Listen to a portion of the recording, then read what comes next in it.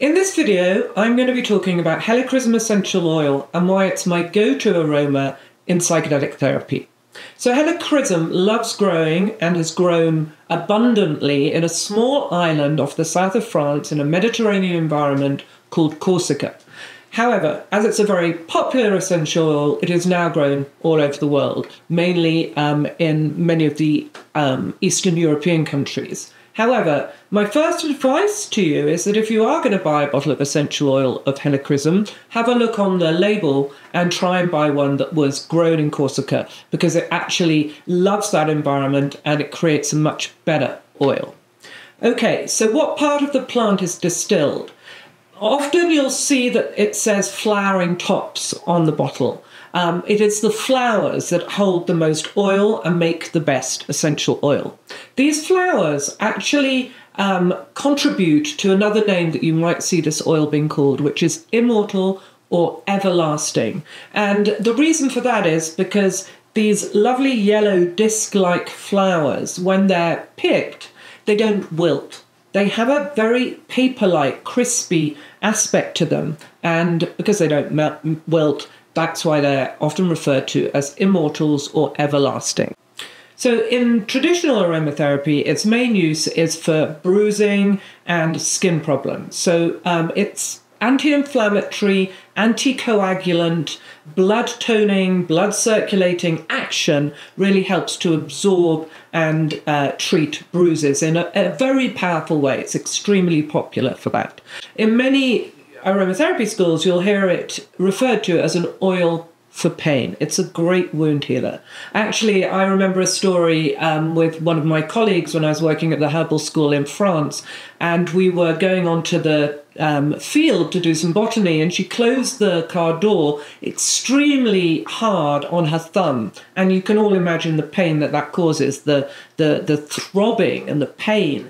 And luckily, she had a bottle of essential oil of helichrysum, and she put it on her thumb, and I promise you, it was amazing to see how quickly both the pain and the bruising disappeared. Okay, so on to how it can be helpful in the psychedelic therapy situation.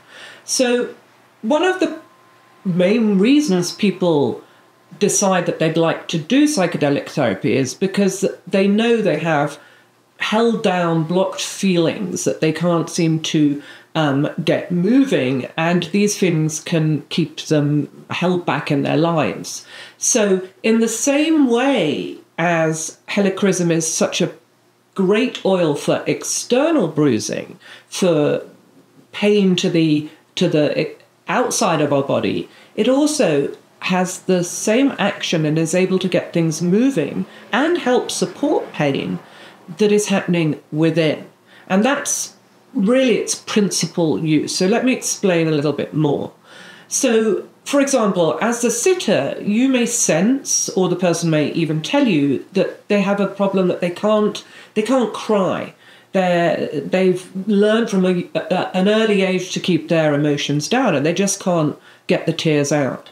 This would be the oil that I would use for that.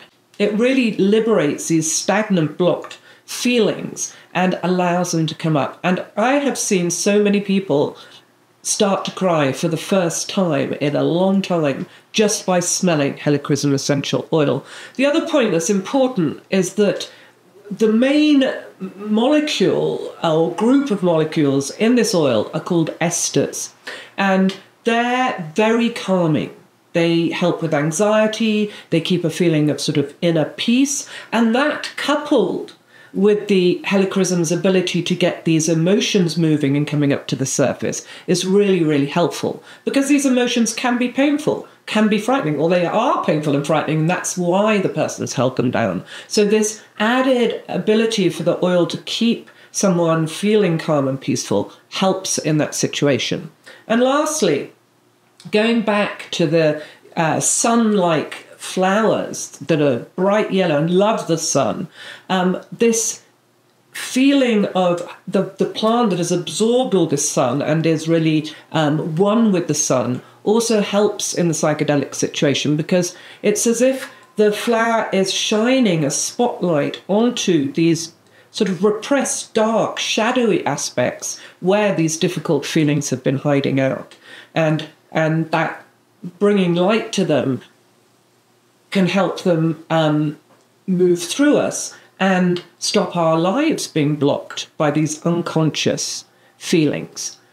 So, although, as I mentioned, the esters are the molecule that scientifically has been proven to create this peaceful environment, the rest of what I'm saying really comes from my own experience, both my experience using helichrysum for myself and that with my clients. So, let me explain a little bit. I have this thing, and it's been there all my life, and I know where it comes from. It's a sort of ancestral story that I inherited that makes me feel as if I have a pressure in my face and that there are tears building up, but they never ever come until I started using helichrysum. And in the right situation, when I was working on my own journey, um, straight away, I would, even now, just smelling it, I can feel the feelings being activated.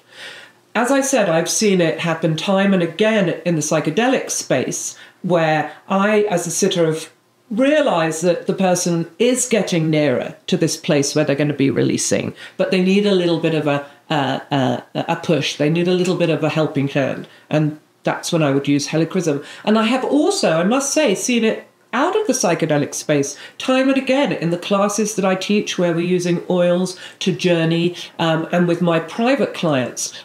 Every time I've needed to help someone just express or feel something that's been held down. Here it is. And I've seen it again and again. Okay, so lastly, I would just say all you need to do is smell. You can use this. I'm smelling from the bottle, as you can see, but you could use a scent strip. That's the, what I advise you to use when you're in the psychedelic situation, because you could just lay it down on the person's chest and they have complete control about how near or far the oil is from them at the time. So, you know, I hope you'll get a bottle of helichrysum and try it yourself. And I would love to hear your experience with the helichrysum essential oil in this type of context.